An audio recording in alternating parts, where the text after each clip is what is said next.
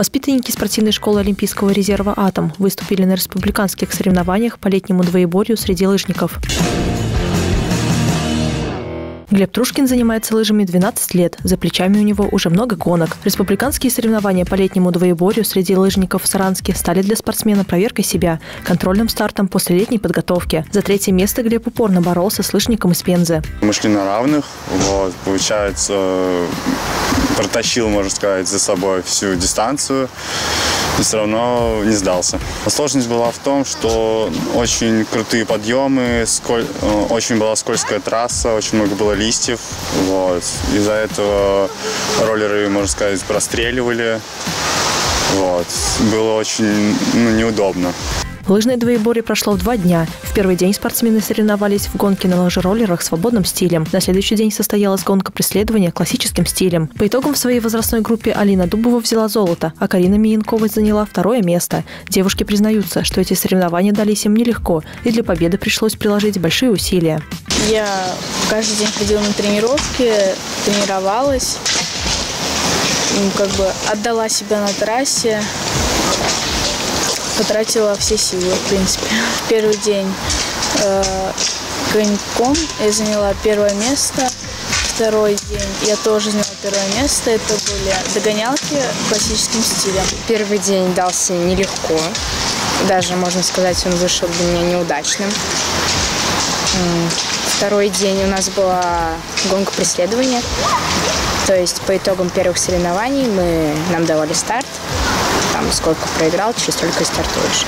Первый день, еще раз повторюсь, проехал плохо. Не того результата ждала. Достаточно много проиграла. Во второй день удалось попасть на пьедестал, догнала.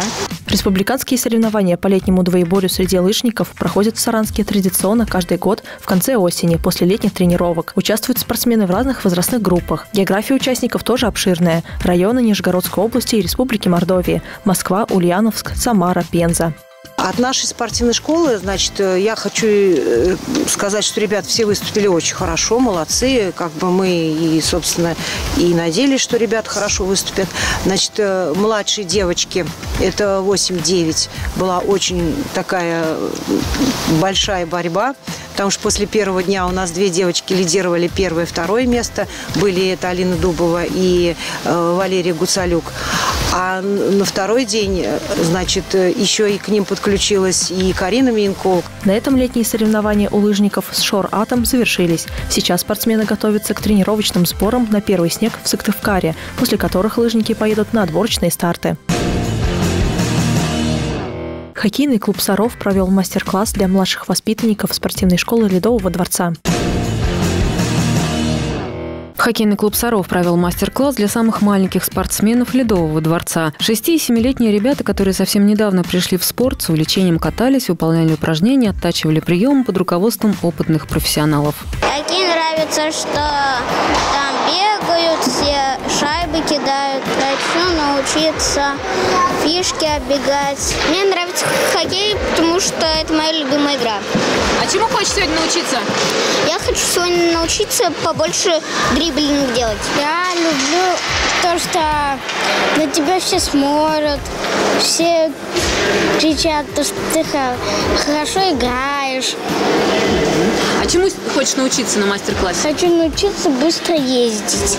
Игроки хакасаров провели для малышей разминки, показали несколько упражнений на катание, поиграли в догонялки. Такие мастер-классы – полезный опыт для начинающих игроков, уверены взрослые спортсмены. Каждый ребенок может подчеркнуть для себя что-то новое и применить это позже, играя с командой на матче. Такие мастер-классы нужны, чтобы привить больше любовь, наверное, к хоккею, ну и показать, как правильно упражнение делать, потому что дети иногда приходят поозоровать. И ну, провести время просто, выбеситься. И упражнения делаю так, ну, немного неправильно.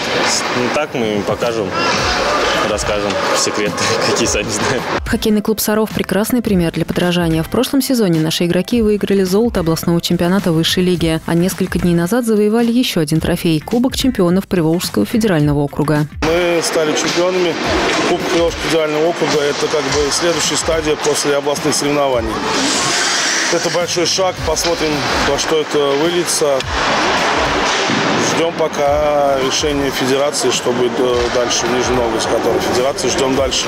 То есть либо будет э, чемпионат среди чемпионов, либо если чемпионы не, чемпионаты в других областях не проводились, значит будет э, просто закрытие сезона по итогу чемпионы Кубка ПФО и все. Сейчас хоккеисты готовятся к новому сезону областного чемпионата высшей лиги. 5 ноября в Ледовом дворце пройдет первый домашний матч. Саров встретится с давним соперником стартом из Таншаева. Девять команд. Одна команда Бор ушла в первую лигу.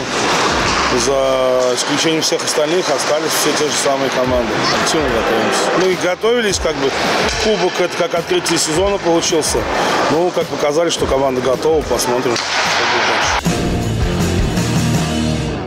Уже много лет в нашем городе есть секция виндсерфинга. Ее воспитанников учат вставать на доску, управлять парусом.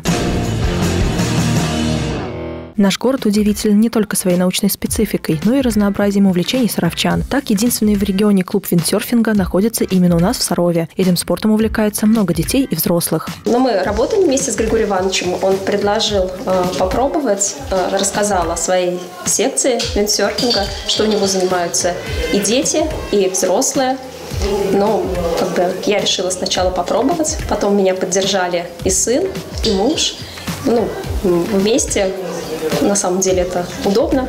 Ребята, которые несколько лет занимаются в клубе виндсерфинга Центра внешкольной работы, уже имеют богатое портфолио. Спортсмены выступали на соревнованиях в Ейске, в Иксе. Надо встать, поднять парус, ну, ну, может быть, там привестись немножко, парус там закрыть, чтобы ветер поймать там.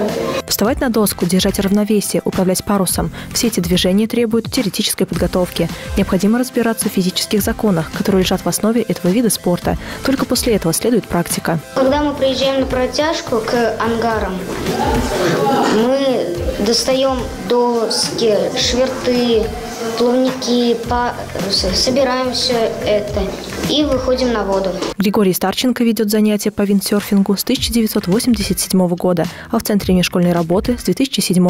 Летом обучение проходит на воде, а в течение учебного года в ОБЦ в спортивном зале. Цель простая – получать как можно больше удовольствия. А как это получается, как это достигается, можно по-разному. Можно достигать наибольших скоростей, и это здорово. Можно э, научиться э, управлять парусной доской на большой волне. Это тоже здорово.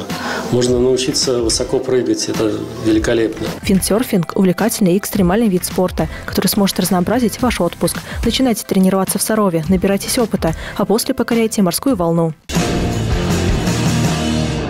Мастер-класс по скандинавской ходьбе провели для горожан на лыжной базе в рамках Дня пожилого человека. Чем шире шаг, тем шире у нас амплитуда движения. Инструктаж – первый этап мастер-класса по скандинавской ходьбе, который прошел на лыжной базе в рамках Дня пожилого человека. Его провела инструктор-методист с Шор Атом Светлана Кузьменко, чемпион Нижегородской области, бронзовый призер первого чемпионата России по спортивному туризму в дисциплине «Северная ходьба среди женщин». Она рассказала собравшимся о технике скандинавской ходьбы, объяснила, как правильно выбирать инвентарь, чтобы занятия на свежем воздухе приносили максимальную пользу. У пожилых людей не так широк спектр выбора видов спорта. Бегать им уже тяжело, плавать э, тоже не каждый в бассейн пойдет. А здесь очень замечательно. Все проходит на природе, э, в приятной обстановке, в компании единомышленников. Как говорится, дорогой инвентарь не нужен. Взял палки и пошел наслаждаться природой, получать заряд бодрости, энергии, позитива. Занятия провели на улице, начали с разминки, сделали подводящие упражнения, затем приступили к скандинавской ходьбе. За техникой исполнения упражнений следила Светлана, давала советы, как улучшить навык и как правильно увеличивать нагрузку. Мы вышли на пенсию и стали более активно заниматься. Э, катаемся на лыжах, зимой велосипеды. Э, когда вот приглашают на скандинавскую ходьбу, как бы я сначала думала, что это сложновато, а потом поняла, что это практически те же самые лыжи. Двигаешься, палочки как-то идут в такт, и все получается. В конце занятия участники смогли пообщаться со Светланой Кузьменко и лично расспросить ее обо всех особенностях скандинавской ходьбы.